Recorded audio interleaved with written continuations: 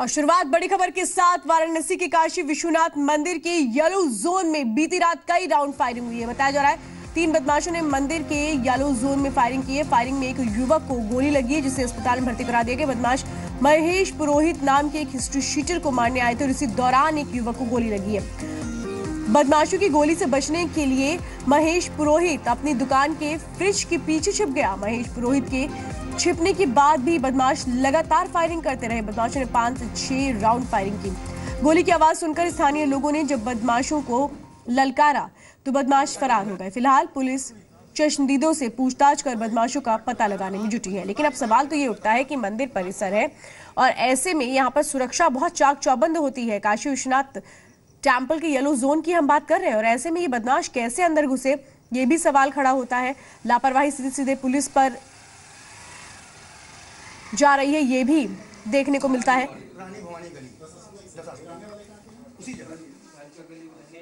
एक लड़का गन लेके ताबड़तोड़ फायर करने लगा। मैं अपने काउंटर नीचे झुक गया।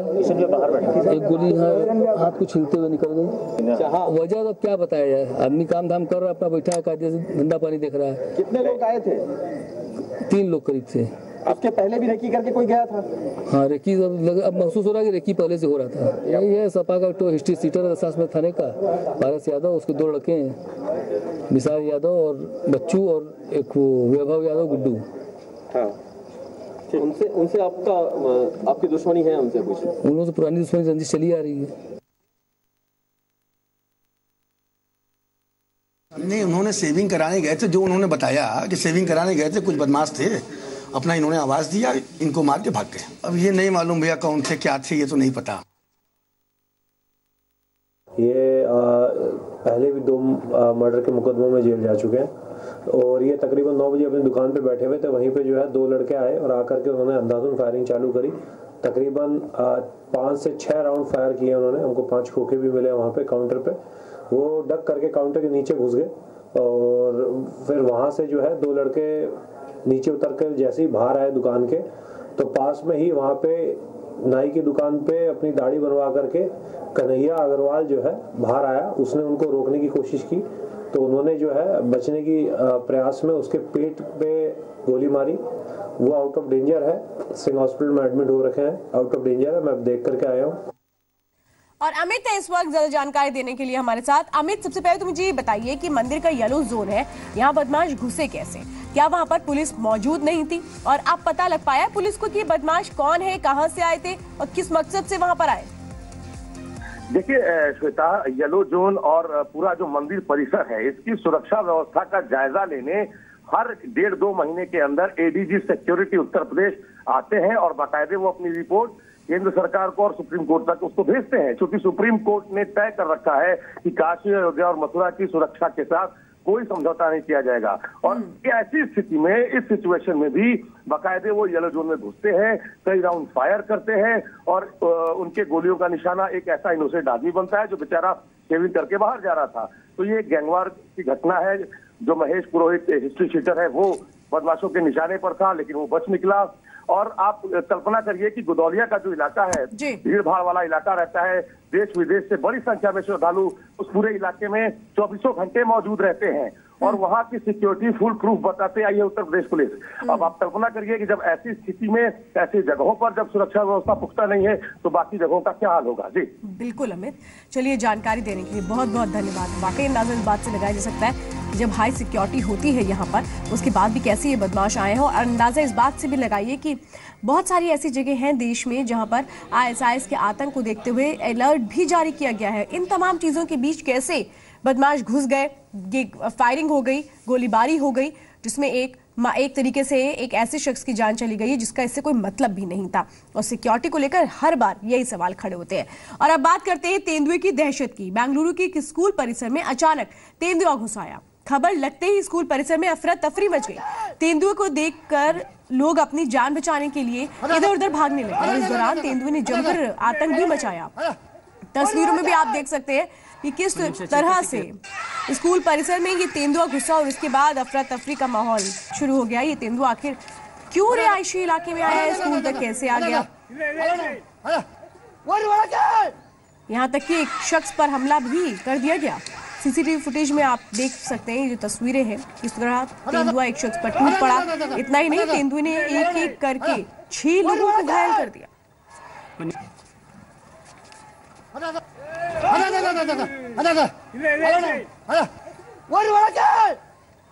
मनीषा चेता से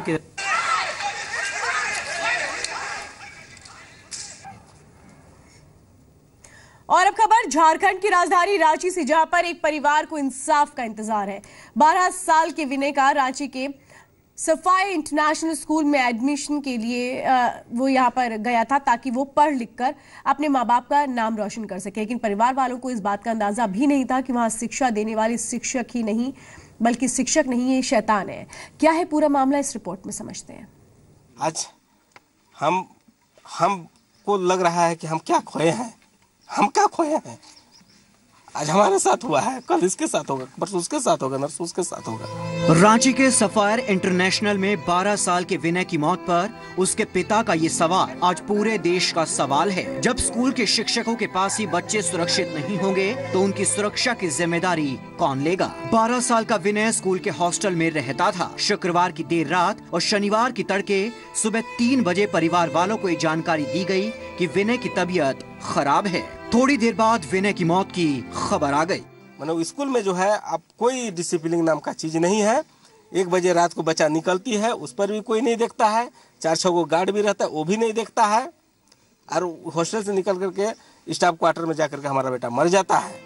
परिवार वालों को ये समझ में नहीं आया कि कल तक विनय बिल्कुल ठीक था। अचानक उसकी मौत कैसे हुई?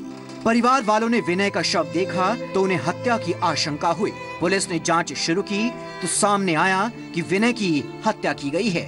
फायर इंटरनेशनल स्कूल में जो ये वारदात हुई है, इसको लेकर के पुलिस का अनुसंधान कार्य अभी चल रहा है। हम लोगों ने जो यहाँ का सीसीटीवी फुटेज है, उसको भी खंगाला है और पीओ को भी हम लोगों ने जा करके बारीकी से उसका जो है अध्ययन किया है। और पोस्टमार्टम रिपोर्ट का हम लोग अभी इंतज़ार कर रहे हैं जिस पर काफ़ी कुछ टिका है। शुरुआती जाँच के बाद पुलिस ने विनय की हत्या के आरोप में तीन शिक्षकों को हिरासत में लिया है। साथ ही स्कूल के कई नन टीचिंग स्टाफ को भी हिरासत में लिया गया है। जाँच में ये भी सामने आया है कि विनय को हॉस्टल से बाहर ले जाया गया और उसकी हत्या कर दी गई। कुछ लोगों को हम लोगों ने पूछताछ के लिए भी रखा है उनसे पूछताछ भी लगातार की जा रही है। तो अभी निश्चित तौर पर कुछ नहीं कहा जा सकता अनुसंधान अभी जारी है। अभी अ, कुछ बिंदुओं पर अनुसंधान अभी बाकी है। आरोप ये भी लग रहे हैं कि विनय की हत्या से पहले उसका शारीरिक शोषण किया गया और इसे छिपाने के लिए उसकी हत्या कर दी गई। अगर स्कूलों के अंदर ही इस तरह की घिनौनी वारदात होगी तो बच्चों की सुरक्षा की ज़िम्मेदारी कौन लेगा?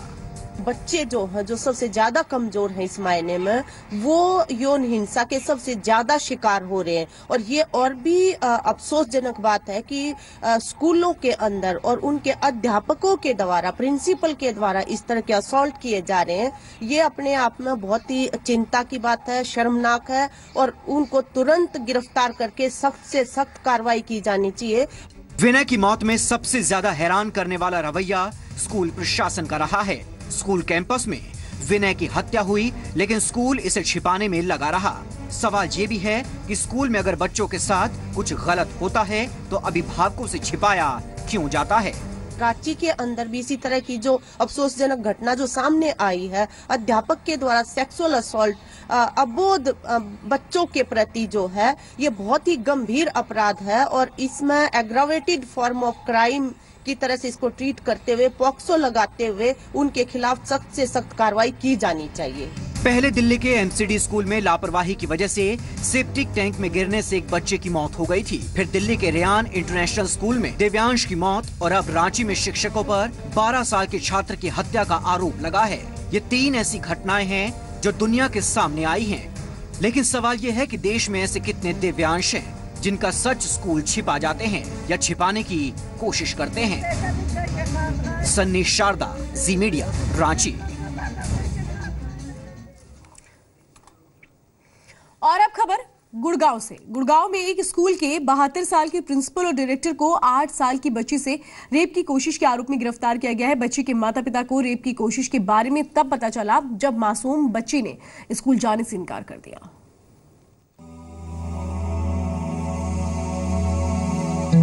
आठ साल की बच्ची को उसके माँ बाप इस उम्मीद के साथ स्कूल भेजते थे कि वो कुछ सीखेगी। लेकिन स्कूल में बहत्तर साल के प्रिंसिपल मासूम बच्ची पर गंदी नज़र रखता था। परिवार वालों को ये जानकारी मिली तो उनके होश उड़ गए। जिस स्कूल में वो बच्ची को पढ़ने भेजते थे, वो स्कूल उसके लिए सुरक्षित नहीं है। बच्ची ने यही बताया, जो अभी बता रही है कि सर ने मेरे को नीचे बुलाया और नीचे बुलाने के, लंच के बाद नीचे नीचे बुलाया। बुलाने के बाद ये कह रही है कि मेरी चैन खोली सर ने ज़बरदस्ती। गुड़गांव पुलिस ने protection of children from sexual offence, यानी पॉस्को एक्ट के तहत मामला दर्ज करते हुए अशोक विहार के आरसा पब्लिक स्कूल के बहत्तर वर्षीय प्रिंसिपल राम गोपाल और डायरेक्टर को गिरफ़्तार कर लिया। इस घिनौनी वारदात की कोशिश का खुलासा तब हुआ जब महज दूसरी क्लास में पढ़ने वाली बच्ची ने स्कूल जाने से इनकार कर दिया। इससे ज़बरदस्ती बदतमीजी कर रहा था। हाथापाई मतलब इससे बच्चे के साथ। और इसी से यही बदतमीजी कर रहा था और बाकी बच्चा भी कह रहा है जी। हमसे यही बात है आके बच्चे ने बताई है। हाँ देखिए एक निजी स्कूल में एक जो स्कूल संचालक है प्रिंसिपल है उस स्कूल के उन्होंने आठ साल की बच्ची के साथ छेड़छाड़ की है। तो हमने तुरंत कार्रवाई करते हुए मुकदमा दर्ज कर लिया है और अक्यूज को अरेस्ट कर लिया है। आरोपी राम गोपाल एयरफोर्स से रिटायर्ड ऑफिसर है। वारदात के बाद से पीड़ित बच्ची सहमी हुई है और स्कूल जाने की बात सुनकर ही रोने लगती है। बच्चा चाहे एमसीडी स्कूल में पढ़ रहा हो चाहे प्राइवेट स्कूल में पढ़ रहा हो सेफ्टी स्टैंडर्ड्स एक पैरामीटर्स होने चाहिए और मुझे लगता है कि इस पे सरकार को बहुत ही स्ट्रांगली एक्शन लेना चाहिए। माता पिता अपने बच्चों का भविष्य संवारने के लिए कितनी उम्मीद के साथ अपने बच्चों को स्कूल भेजते हैं?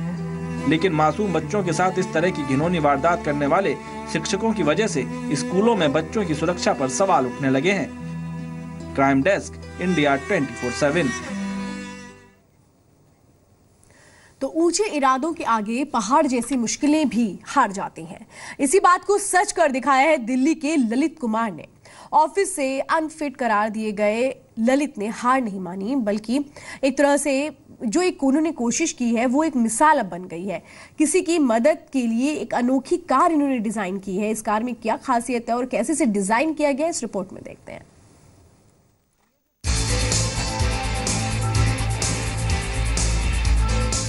इस हाइब्रिड कार को देखकर कोई भी यही कहेगा कि इसे ज़रूर किसी हाईफाई फैक्ट्री या डिज़ाइन स्टूडियो में तैयार किया गया होगा। लेकिन यह सच नहीं है। इस कार को नॉर्थ ईस्ट दिल्ली के चौहान पत्ती गाँव में रहने वाले इंजीनियर ललित कुमार ने डिज़ाइन किया है। यूँ तो किसी बड़ी कार कंपनी के लिए ऐसी कार डिज़ाइन करना कोई बहुत बड़ी बात नहीं। लेकिन इंजीनियर ललित ने अकेले दम पर मुसीबतों से लड़ते हुए ये काम किया है। ललित वो शख्स है जिन्हें 10 साल तक एक सरकारी दफ्तर में काम करने के बाद अनफिट करार दे दिया गया था। 2015 की स्टार्टिंग की बात है। मुझे Centre for Development of Advance Computing में नियरली टेन ईयर्स कंप्लीट हो चुके थे। फिर उन लोगों ने एक मतलब एक, जैसे होता है ना सर परफॉर्मेंस रिव्यू वो एक ऐसे एक इंटरव्यू कराया। इंटरव्यू में खाली हार्डली या दो या तीन मिनट का इंटरव्यू था। फिर उन्होंने मेरे से पूछा था कि आपका नाम क्या है? मैंने नाम बताया और आप क्या क्या काम करते हैं? ये बताया। एक महीने के बाद रिज़ल्ट आया कि आप तो अनफिट हैं। ललित का संघर्ष यहीं से शुरू हुआ। उन्होंने एक और सेंट्रल एडमिनिस्ट्रेटिव ट्रिब्यूनल और दिल्ली हाईकोर्ट में कानूनी लड़ाई लड़ी। और दोबारा नौकरी हासिल की। तो दूसरी ओर, अपने बुरे दिनों में उन्होंने कुछ नया करने की ठानी आठ महीने में आठ लाख रुपयों की लागत से एक सस्ती हाइब्रिड कार का डिज़ाइन उन्होंने तैयार कर लिया।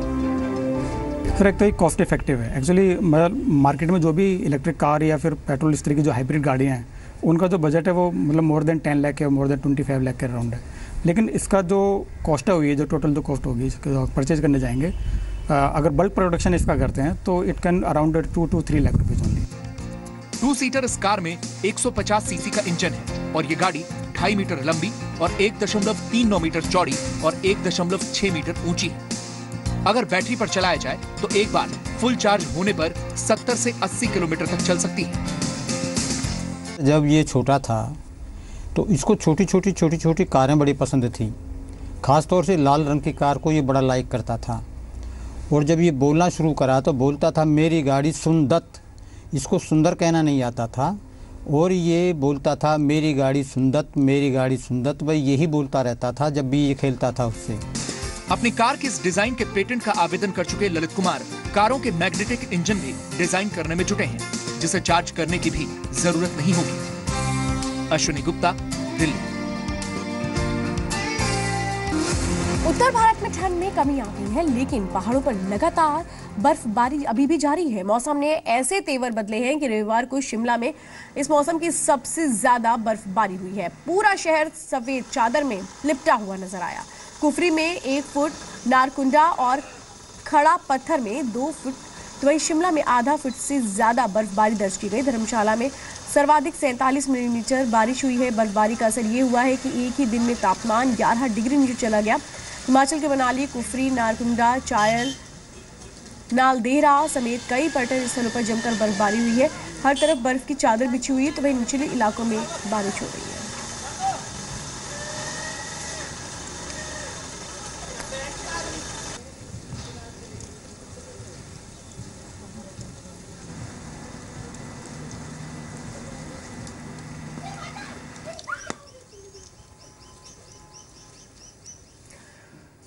देश में बढ़ते आतंकवाद के खतरे से हर कोई परेशान है। सब इस समस्या का हल तो चाहते हैं, लेकिन बात किसी बड़ी पहल की हो, गिने चुने लोग ही अब तक सामने आए हैं।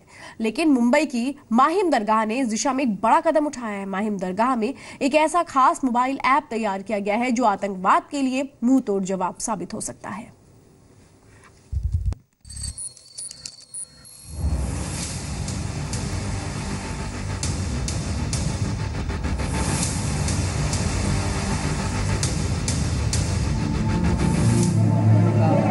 मुंबई की माहिम दरगाह ने आतंकवाद के खिलाफ मोर्चा खोल दिया है।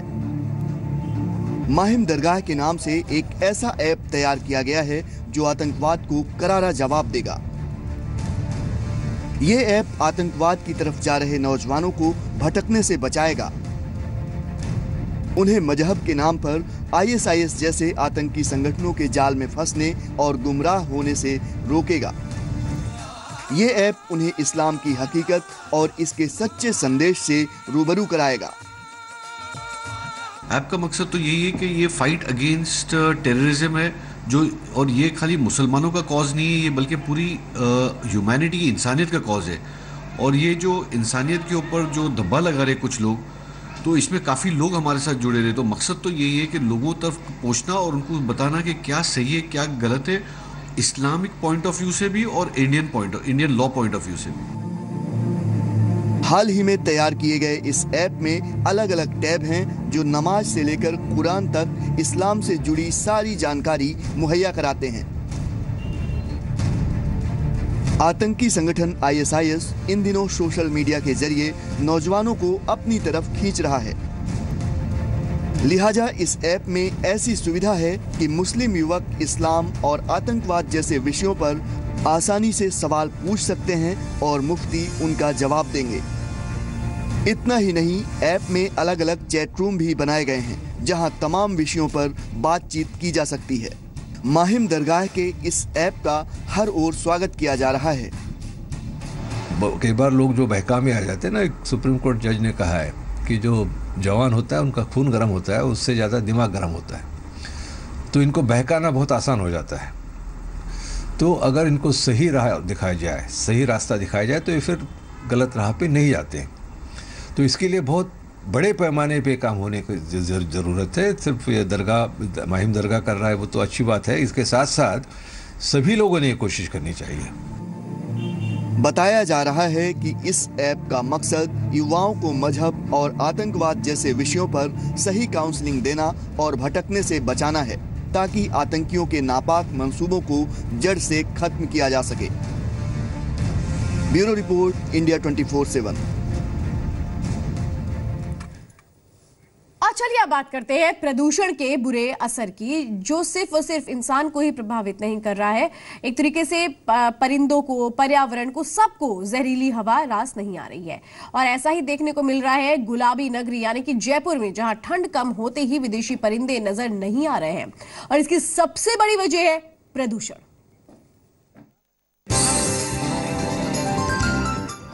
सात समंदर पार से आए इन परिंदों को। गुलाबी नगरी की फिजा रास नहीं आ रही। बढ़ता प्रदूषण इन परिंदों की चहचहाहट पर भारी पड़ रहा है। जहरीली होती जयपुर की फिजा इन अनोखे, अनमोल और अद्भुत परिंदों को पलायन के लिए मजबूर कर रही है। ज़्यादातर माइग्रेटरी डक्स यहाँ गायब हैं। ये बतलाता है कि महासागर का स्वास्थ्य हेल्थ बहुत अच्छी नहीं है। खुराक यहाँ उनके लिए नहीं है। ये बरसाता है कि राजस्थान की सरकार आँख मीच के बैठी हुई है इस झील के बारे में। ठंड में अक्सर जल महल का मान सागर देसी विदेशी परिंदों से गुलजार रहता है। ठिठुरती ठंड में खाना खोजने के लिए सात समंदर पार से ये परिंदे गुलाबी नगरी की फिजाओं का आनंद लेने आते हैं। लेकिन इस बार कई परिंदे ऐसे हैं जो नज़र नहीं आ रहे। वजह है जयपुर की झीलों में बढ़ता प्रदूषण। कारणों से हनी भी इसके ऊपर एक बड़ा संकट है। और I think globally people are looking at it कि इसको नहीं बचाएँगे। तो ह्यूमन काइंड के लिए बहुत बड़ा खतरा है। अभी जिन परिंदों का दीदार हो रहा है गर्मी आते ही विदेशी परिंदे अपने वतन की ओर लौटने लगेंगे। इस सीज़न झीलों में करीब 3000 विदेशी पक्षी आए थे। जिसमें करीब 150 प्रजातियाँ देखने को मिली। मौसम में आए बदलाव के बाद ये पक्षी स्वदेश लौटने लगे हैं।